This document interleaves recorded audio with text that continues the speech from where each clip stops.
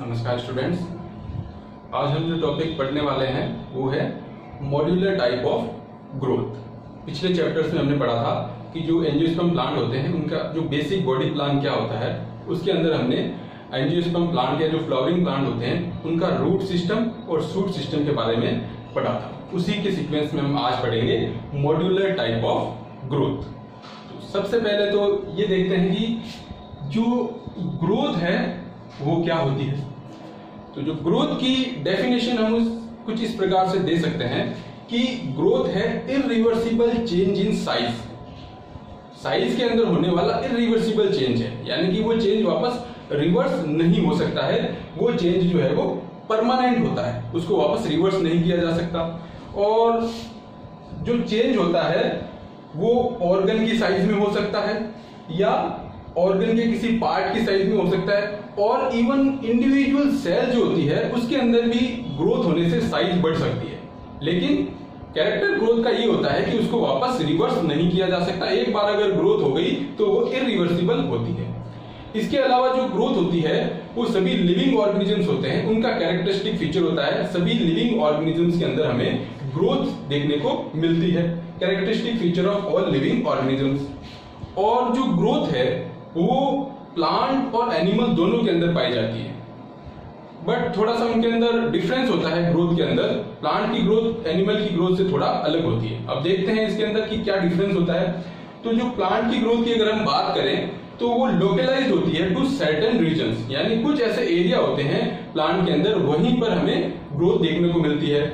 जैसे कि apical meristem, lateral meristem और इंटरकैलरी मेरिस्टेम का जो एरिया होता है, वहीं पर हमें ग्रोथ देखने को मिलती है। इसलिए हम कहते हैं कि प्लांट जो होते हैं, उनके अंदर ग्रोथ लोकलाइज्ड होती है।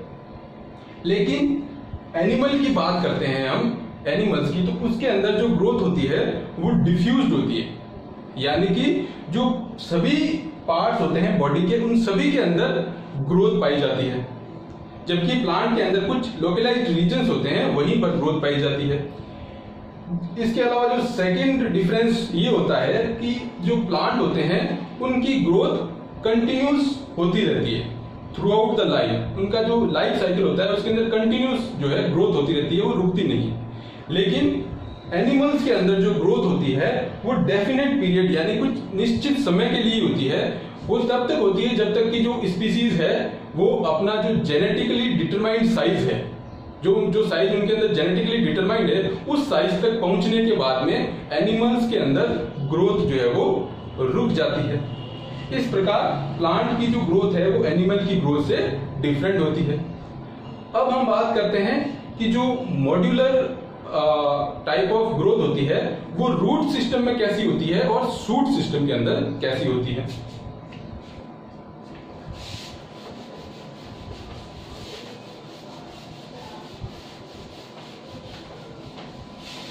तो जो हायर प्लांट्स होते हैं हायर प्लांट्स के अंदर जो मेरिस्टेम पाई जाती है, वो चार प्रकार की होती है।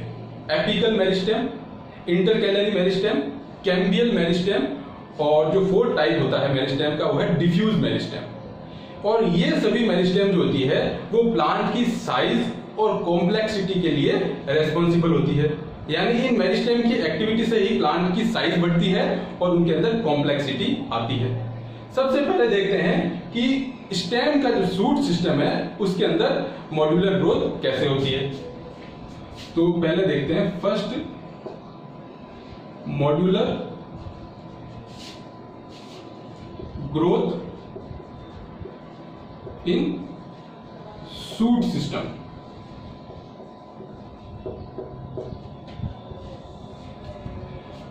Plant की जो सूट सिस्टम है या जो मॉड्यूलर ग्रोथ होती है प्लांट के अंदर, उसकी तीन स्ट्रक्चरल यूनिट होती है। जो मॉड्यूलर ग्रोथ है, उसकी थ्री स्ट्रक्चरल यूनिट होती है, जिनके द्वारा मॉड्यूलर ग्रोथ पाई जाती है। थ्री स्ट्रक्चरल यूनिट्स इनमें जो सबसे पहला यूनिट है, वो है सेल सेकंड यूनिट है मेटामर और थर्ड यूनिट होती है मॉड्यूल। इन तीन स्ट्रक्चरल यूनिट से जो प्लांट का जो मॉड्यूलर ग्रोथ है, उसके अंदर हमें देखने को मिलती है। सबसे पहले हम बात करते हैं सेल की। जैसा कि हम सभी को पता है, सभी जो लिविंग ऑर्गेनिज्म होते हैं उनके जो बॉडी के अंदर जो सेल होती है, वो स्ट्रक्चरल और फंक्शनल यूनिट होती है। ये structural and functional unit of all living organisms इसके अलावा जो पुरानी सेल्स है, उनसे नई सेल्स का डेवलपमेंट होता है। और ये जो सेल्स होती है, वही आगे जाकर प्लांट की जो स्ट्रक्चरल यूनिट्स है, उनका निर्माण करती है। इस प्रकार जो फ़र्स्ट यूनिट होती है, वो है सेल और जो सेल है, वही मिलकर के आगे जाकर के जो इसकी सेकेंड यूनिट है मेटामर उसका फॉर्मेशन होता है। सेल से मिलकर मेटामर का फॉर्मेशन होता है और मेटामर जो है, कई सारे मेटामर की यूनिट है, वो आपस में मिलकर के इसकी जो थर्ड कॉम्प्लेक्स यूनिट है मॉड्यूल उसका निर्माण करती है। तो अब सेकंड बात करते हैं, इसकी जो सेकंड यूनिट है मेटामर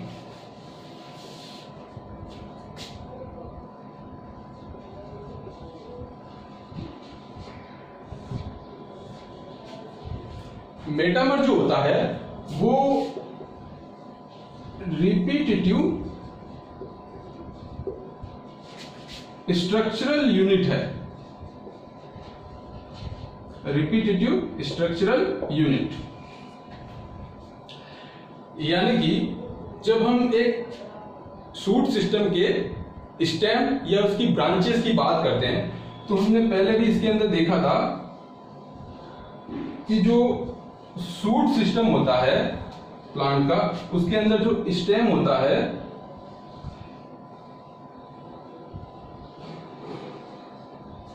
या जो उसकी ब्रांचेस होती है, उसके अंदर नोड्स और इंटरनोड्स पाए जाते हैं। जैसे कि ये नोड है, ये भी एक नोड है, और इन दो नोड के बीच वाला जो पार्ट है, वो कहलाता है इंटरनोड जैसे कि ये नोड हो गया, ये भी नोड है। और जो दो नोड के बीच का ये जो पार्ट है, ये हो गया इंटरनोड।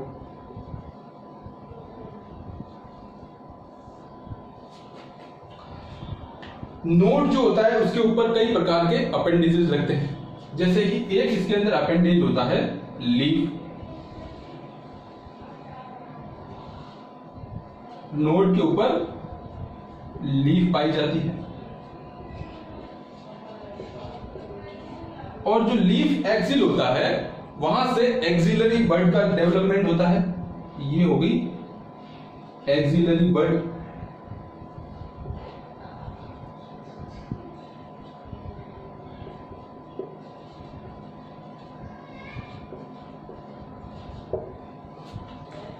और इसी एक्सिलरी बर्ड से आगे जाकर के जो इस स्टेम के ऊपर जो ब्रांचेस लगती है, उसका डेवलपमेंट होता है। तो जैसे कि इसमें हम देख रहे हैं कि नोड के ऊपर लीफ लग रही है और एक्सिलरी बर्ड लग रही है। तो ये जो सारा पार्ट है, वो एक मेटामर यूनिट का होता है। जिसके एक तो हम कह सकते हैं कि एक मेटामर यूनिट जो होती है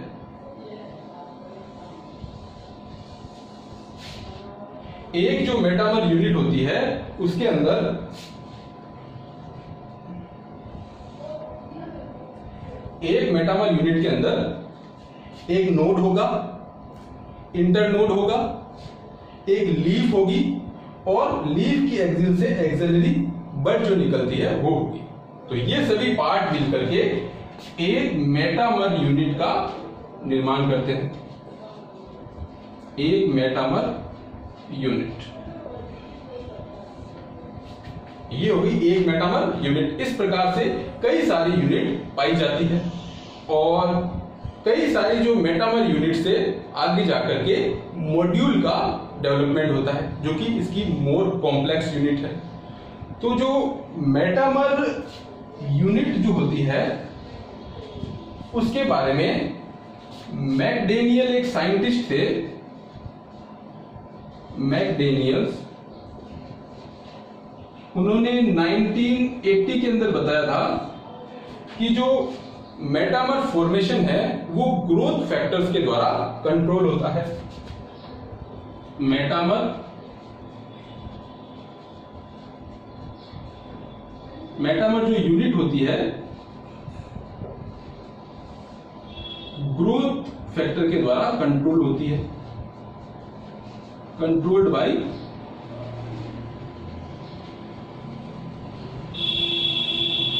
ग्रोथ फैक्टर तो ये हो गई एक मेटामर यूनिट तो हम कह सकते हैं कि जो मेटामर यूनिट होती है, वो consist of node internode leaf and axillary bud. एक मेटामर यूनिट के अंदर ये सारे पार्ट पाए जाते हैं जिनसे मिलकर एक मेटामर यूनिट बनती है। अब हम बात करते हैं तो इसकी थर्ड स्ट्रक्चरल यूनिट है मॉड्यूल उसके बारे में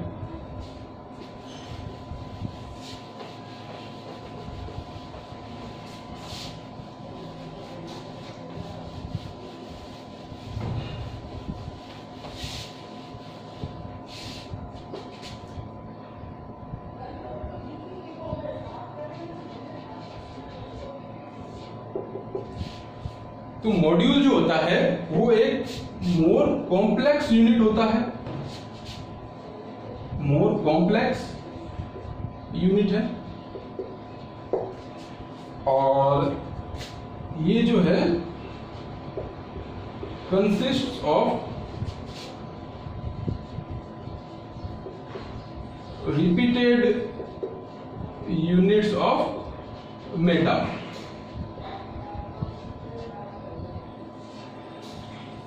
metamer की कई सारी जो यूनिट है, वो आपस में मिलकर के मॉड्यूल बनाती है। जिस प्रकार हमने बात की थी, एक मेटामर की यूनिट होती है, उस प्रकार से कई सारी मेटामर की यूनिट आपस में अरेंज होकर ऐड होकर के एक मोर कॉम्प्लेक्स यूनिट मॉड्यूल का डेवलपमेंट करती है, जिससे मॉड्यूल का डेवलपमेंट होता है प्लांट के अंदर।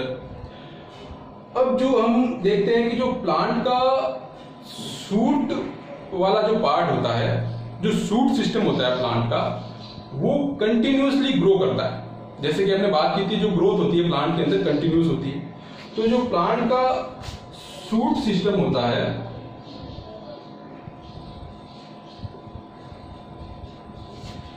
ये कंटिन्यूस ग्रो करता है।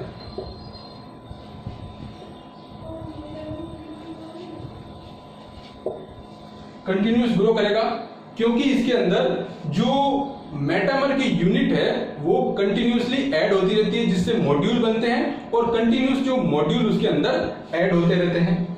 तो कंटिन्यूस ग्रोथ होती है, क्योंकि इसके अंदर जो मॉड्यूल्स हैं, वो ऐड होते रहते हैं। सूट सिस्टम के अंदर मॉड्यूल्स ऐड होते रहते हैं, इस कारण उसके अंदर कंटिन्यूस ग्रोथ पाई जाती है। लेकिन जब हम एक पर्टिकुलर सूट मॉड्यूल की बात करते हैं। जो सूट सिस्टम होता है, वो तो कंटिन्यूस ग्रो करता है। लेकिन जो एक पर्टिकुलर सूट मॉड्यूल की अगर हम बात करें, एक पर्टिकुलर जो सूट मॉड्यूल होता है,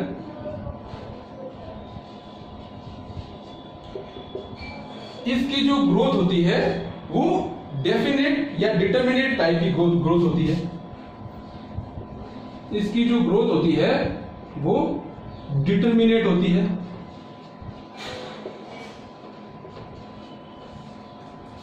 यानी कि जो एक पर्टिकुलर सूट मॉड्यूल होता है, वो एक सीमित ग्रोथ प्राप्त करता है। उसके अंदर एक सीमित लेवल तक ही ग्रोथ होती है। और ये ग्रोथ कब टर्मिनेट होती है? जब जो सूट है, उसके ऊपर इन्फ्लोरिसेंस का डेवलपमेंट हो जाता है। या उसके ऊपर टेंड्रिल्स बनते हैं, या जो सूट अपेक्स है, उसका पेरेंट काइमेटाइजेशन हो जाता है। तो जो ग्रोथ है सूट मॉड्यूल की, वो टर्मिनेटेड बाय इन्फ्लोरिसेंस का डेवलपमेंट हो जाता है। बाय डेवलपमेंट ऑफ़ इन्फ्लोरिसेंस इसके अलावा टेंड्रिल्स और थर्ड जो रीजन है, वो है parenchymatization parenchymatization of shoot apex इन तीनों रीजन में से किसी भी रीजन के द्वारा जो सूट मॉड्यूल है, उसकी ग्रोथ रुक जाती है या टर्मिनेट हो जाती है। तो ये था प्लांट का जो सूट सिस्टम है, उसके अंदर किस प्रकार से मॉड्यूलर ग्रोथ पाई जाती है। इसके अंदर हमने बात की थी कि तीन स्ट्रक्चरल यूनिट होती है सेल मेटामर और मॉड्यूल सेल जो है, उससे मिलकर बनता है मेटामर और मेटामर की कई सारे यूनिट्स आगे जाकर के बनाती है मॉड्यूल अब हम बात करते हैं कि जो सूट सिस्टम है, उसके बाद में रूट सिस्टम के अंदर किस प्रकार से मॉड्यूलर ग्रोथ पाई जाती है?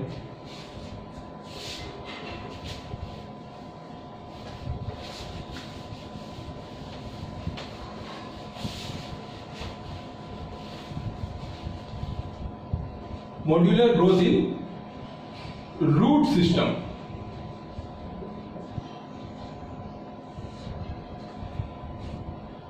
तो जो रूट होती है, उसके अंदर भी मॉड्यूलर कैरेक्टर पाए जाते हैं। रूट के अंदर भी मॉड्यूलर कैरेक्टर्स होते हैं। जो कि हमें, जो रूट का ब्रांचिंग पैटर्न है, उसके अंदर देखने को मिलता है। मॉड्यूलर कैरेक्टर जो है, हमें ब्रांचिंग पैटर्न के अंदर देखने को मिलता है।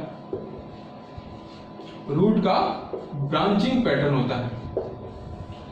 ब्रांचिंग पैटर्न का मतलब होता है, जो रूट होता है, उसके अंदर प्राइमरी रूट होती है। उसके अलावा फ़र्स्ट सेकेंड या जो हायर ऑर्डर की लेटरल रूट्स भी उसके अंदर पाई जाती है। तो एग्ज़ाम्पल अगर हम देखें तो रूट के जो मॉड्यूल्स होते हैं तो उसके अंदर प्राइमरी रूट प्राइमरी रूट इसके अलावा लेटरल रूट्स जिसके अंदर ये फ़र्स्ट सेकंड या हायर ऑर्डर की लेटरल रूट्स को हो सकती है। तो ये जो होते हैं, ये रूट का मॉड्यूल्स होते हैं। रूट के मॉड्यूल्स होते हैं। जिनसे जो है रूट सिस्टम का डेवलपमेंट होता है। इन्हीं रूट मॉड्यूल से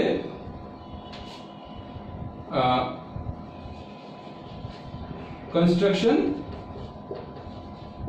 ऑफ़ रूट सिस्टम तो जो प्राइमरी रूट होती है लेटरल रूट होती है, ये भी एक प्रकार का रूट के जो है मॉड्यूल्स होते हैं, जिनके द्वारा जो कंप्लीट रूट सिस्टम का डेवलपमेंट होता है।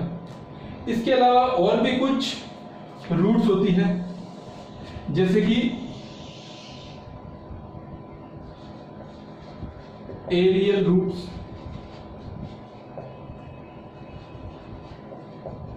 रूट स्पाइंस इसके अलावा जो न्यूमेटा न्यूमेटाफोर्स होते हैं,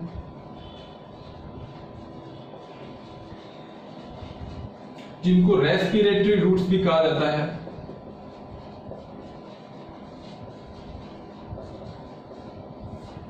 रेस्पिरेटरी रूट्स इसलिए कहा जाता है क्योंकि ये मैंग्रोव वेजिटेशन के अंदर, जो गैसियस एक्सचेंज के अंदर हेल्प करता है। तो इस प्रकार की जो रूट्स होते हैं, ये भी मॉड्यूल के ही पार्ट होते हैं। ये भी एक प्रकार के मॉड्यूल्स होते हैं। एरियल रूट्स रूट स्पाइंस और न्यूमेटाफोर जिससे distinct part of root system का डेवलपमेंट होता है। यानी कि इन सभी जो रूट्स है, उनसे भी मॉड्यूल बनते हैं और जो कि आगे जाकर के जो रूट है, उसको अलग अलग पार्ट के अंदर पाए जाते हैं। जो ये सभी पार्ट भी जो रूट के ही पार्ट होते हैं, जो कि मॉड्यूल्स के रूप में पाए जाते हैं। तो ये था मॉड्यूलर सिस्टम इन रूट जो कि सूट सिस्टम से थोड़ा अलग है। तो ये थे modular type of growth in plant जिसके अंदर हमने सूट सिस्टम के मॉड्यूलर ग्रोथ की बात की। और जो रूट सिस्टम के अंदर मॉड्यूलर ग्रोथ पाई जाती है, उसके बारे में बात की। Thank you